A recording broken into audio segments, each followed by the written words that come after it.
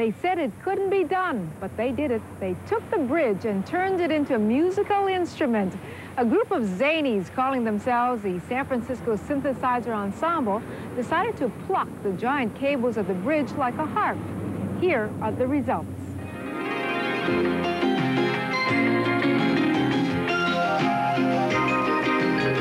Look, nobody realized it at the time, but that great big gold or international orange thing that spans the Golden Gate isn't really a bridge at all. It's a harp. Yep, a giant harp. Oh, yeah, sure, it has a highway on it and 200,000 cars and trucks go across it every day, but look at it. It's a harp. And all that traffic, it's just so they could collect tolls to keep the thing painted and the strings in tune. Bang, bang,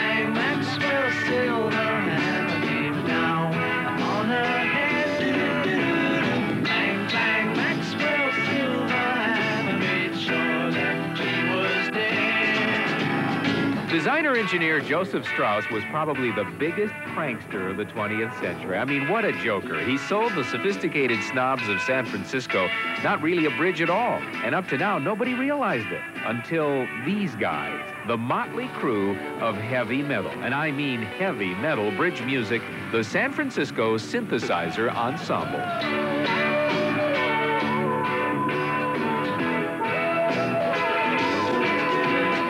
Now, what these guys do is play the bridge. How they do that, you say? Well, by plucking the suspender cables. Actually, they strike them with a hammer and record the vibrations. We have an amazing three-dimensional transducer called a FRAP. The FRAP? A flat response audio pickup that is sensitive to 0.005 kilohertz. The technique is use beeswax. The beeswax attach beeswax to the frap, attach the frap to the strand, and strike it with Maxwell's silver hammer. And what do you get? Five to seven cycle standing waveforms, which we will digitize, raise in octaves, and place inside of a sampling keyboard, and actually play the Golden Gate Bridge.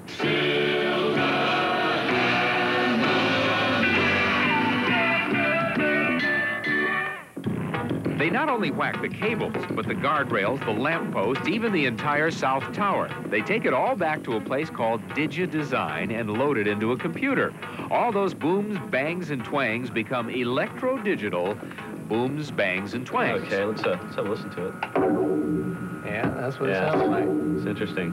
Yeah, the Harpaline now. What? This is the uh, this the is guardrail. the guardrail that we hit with a fist. Yeah. It's kind of a nice sound. I don't care. I love my home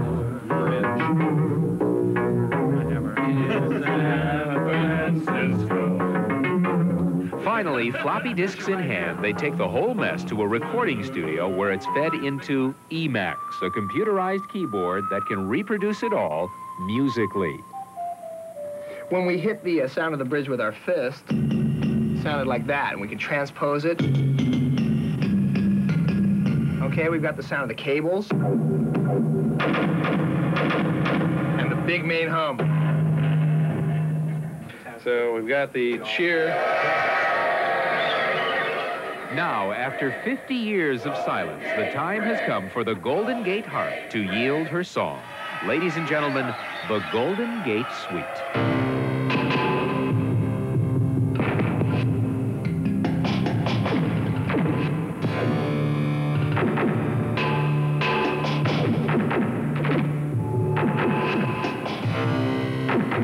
You might think all of this is pretty silly, but now you know for whom the bridge tolls. But we guarantee you the synthesizer ensemble is very serious about Golden Gate harp music. They say with perfectly straight faces that they are bridging the gap between music and technology. Can't you just see Joseph Strauss now laughing up his sleeve at how it took 50 years to realize the greatest hoax of the century? It was a good one, Joe. Thanks. The next time you cross the Golden Gate Bridge, C sharp or you'll be flat.